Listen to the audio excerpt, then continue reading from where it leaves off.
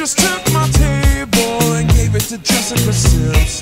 I guess I'll go sit with Trump, boy. At least I'll know how to hit. What if this song's on the radio and somebody's gonna die?